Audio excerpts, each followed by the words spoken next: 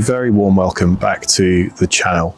You join me tonight on what promises to be a beautifully clear night. Uh, I'm on the North Norfolk coast in the UK at a location called Brancaster Staithe. Brancaster is on the edge of a beautiful salt marshland. Uh, and there's a small harbour here with some lovely boats in the very very still water. So I've come here tonight without any fixed plans. Uh, we're at the end of March almost the beginning of April. I expect that I will start off the night with some images of Orion as it sets in the west. I might get a good time lapse of Orion with some foreground interest as it sets. Um, and then really I'm just going to see how the evening goes. Um, I've got the star tracker, got my lenses. High tide will be in about an hour and a half, two hours here. So I do need to be a little bit careful about where I set myself up. Um, but thanks very much indeed for coming along for the journey and let's get on with it.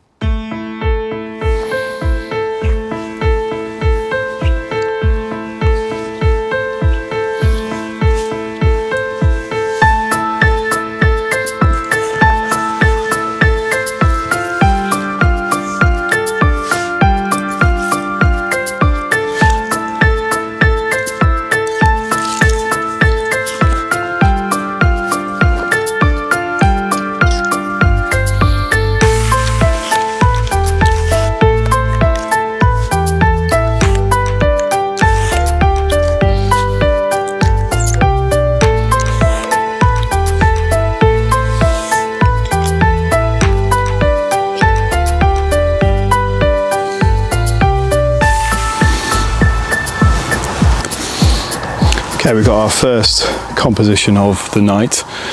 Um, I'm on the edge of a small creek that goes through the marsh and I'm at a, like a Y-shaped intersection on this creek and it's leading off to Orion over there in the uh, southwest and I've also got the zodiacal light coming up through um, past Jupiter over there on the right hand side, through the Pleiades um, and into the Hyades. Um, so it's a really simple portrait composition. I'm at 14 millimeters on the Canon 6D, the unmodified Canon 6D. Uh, I'm shooting 20 second exposures, f2.8 and ISO 2000.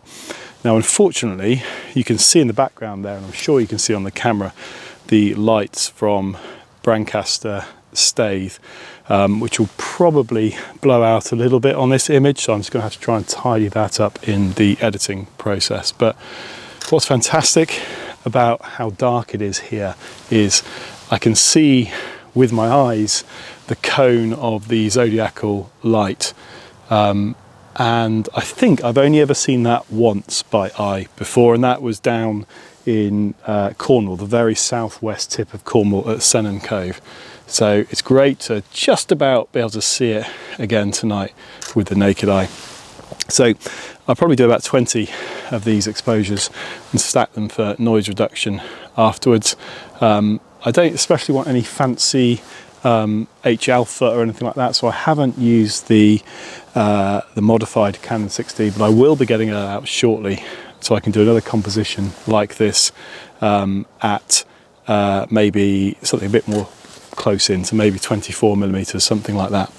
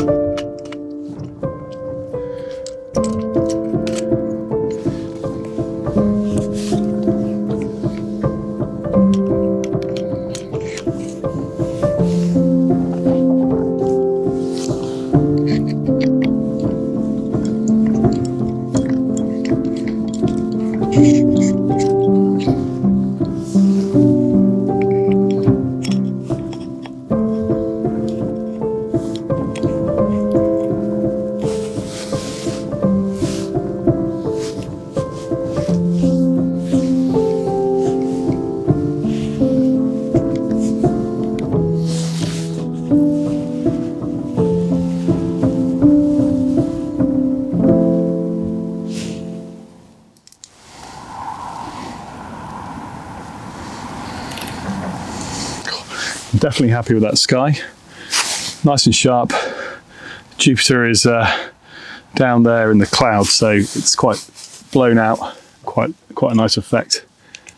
So I think I'll do 10 one minute exposures and then I might try to get the H alpha filter on, see if I can't get me a bit of H alpha goodness too.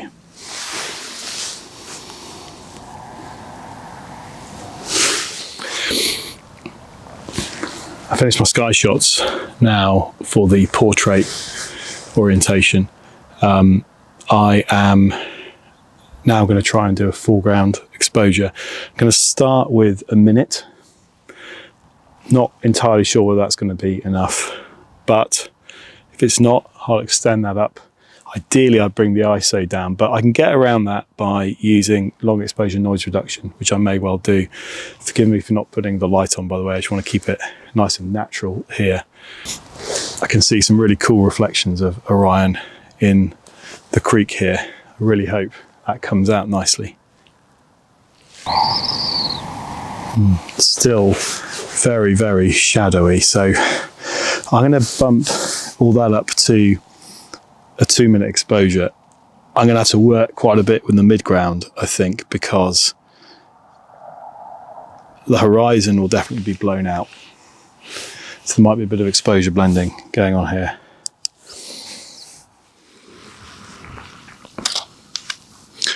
Okay then, so that's about 21 minute exposures there. Hopefully that'll be enough to get some nice detail out of the nebulosity in the Orion region. Um, annoyingly, I've forgotten to bring my H alpha filter with me, so it's just going to be with the Astro modified camera, but I should still be able to get some nice detail out with this. Cool.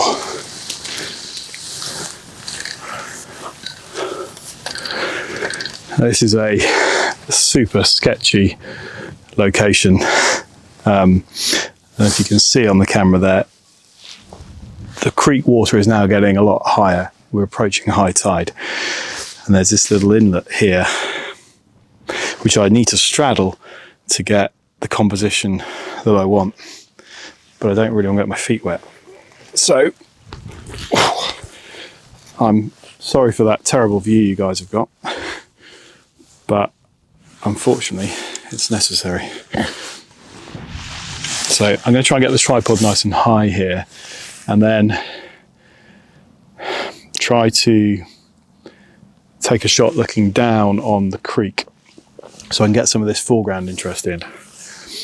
Um, and I think overall this image will probably be a square crop or certainly very close to one. Okay, let's get the camera. I think that tripod is safe enough.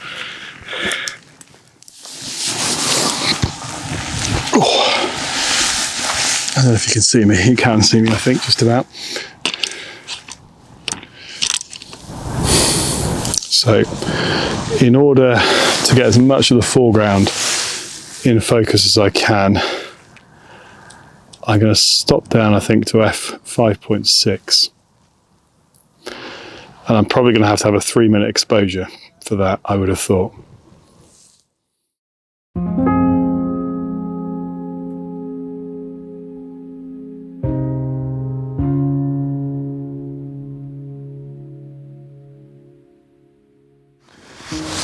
While that camera is shooting away, um, I just wanted to share a little bit more about why I wanted to come out solo, specifically this evening. As I'm sure you will know by now, very sadly yesterday we heard about the passing of Alyn Wallace, one of the great astrophotographers and nightscape photographers and nightscape video makers um, of our time.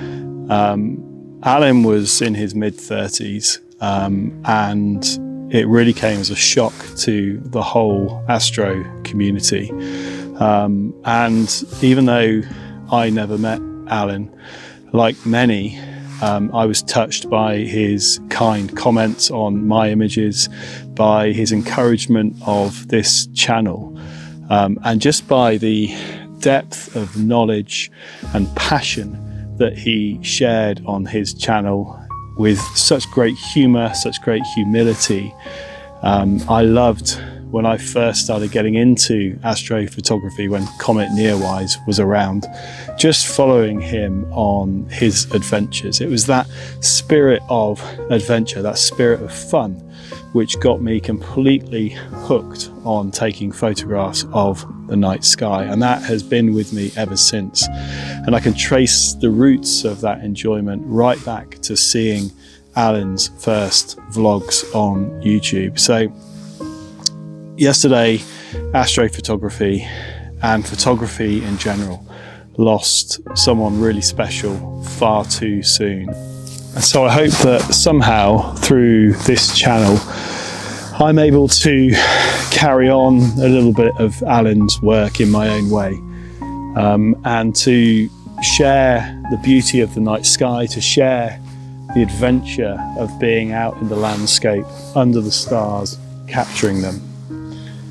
And I hope I inspire some of you to get out there and give this a go. So I personally am very grateful for the generosity that Alyn had, not just in sharing what he did and sharing how to do what he did, but also in just how generous he was about people giving it a go. He was always encouraging. Um, and I absolutely love that. And I owe a lot of where I am with my astrophotography journey to Alyn.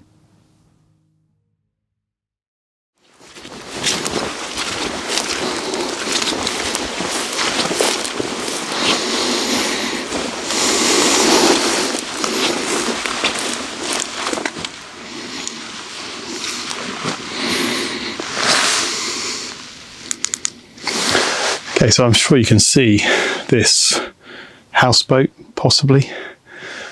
Barge, um, but it's I don't know if it's stranded or marooned, but it's um, it seems to be moored here uh, on this creek on the landward side of the marsh. I'm quite sure how it got here, um, but I think this will make quite an interesting foreground with the Cygnus Milky Way over there in the northeast to east um, which is lying flat currently uh, with Cassiopeia up in the north.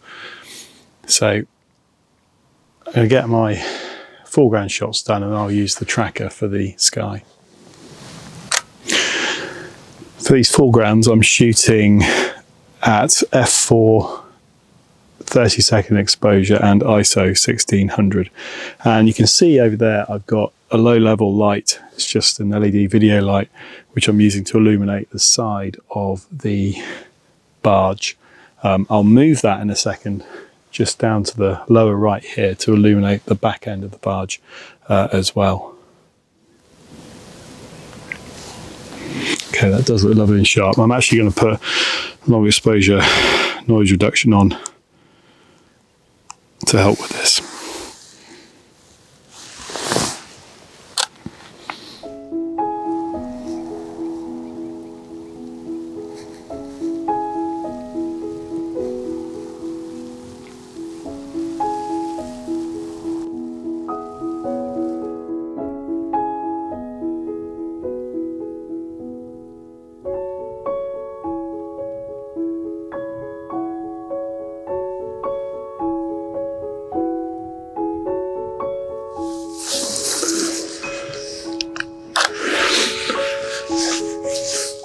time to get the sky exposures for really we've got the um, Cygnus region very, very low in the northeast.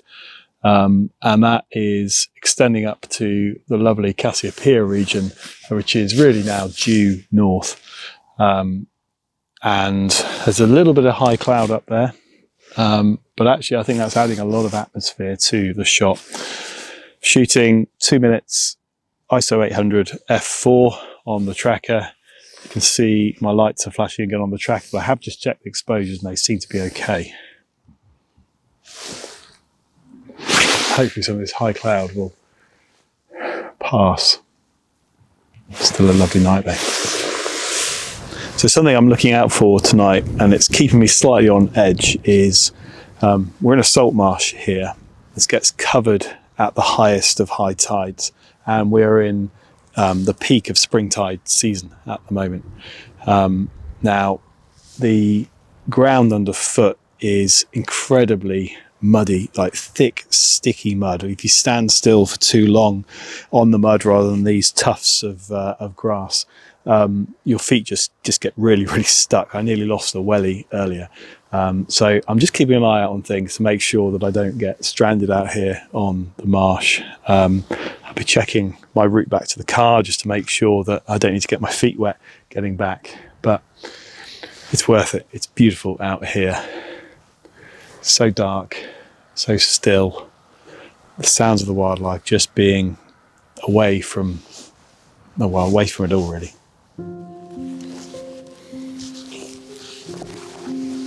Now, unfortunately, at this stage of the night, my video camera suffered a bit of a mishap that meant I was unable to record any further audio. And so I stopped the vlogging there and I consoled myself with a bacon bap and a cup of tea. Really is the best way I know how. And that sustained me to be able to carry on shooting for another couple of hours as the Milky Way began to rise in the southeast and we were even treated to a faint aurora display to the north in the small hours of the morning. It really was a beautiful night out under the stars. I'll put up on the screen in just a second the images that I took that evening. If you got this far, thank you very much indeed for watching. And if you like this kind of content, these adventures, then please do consider subscribing to the channel. But until the next adventure, thank you very much indeed for watching.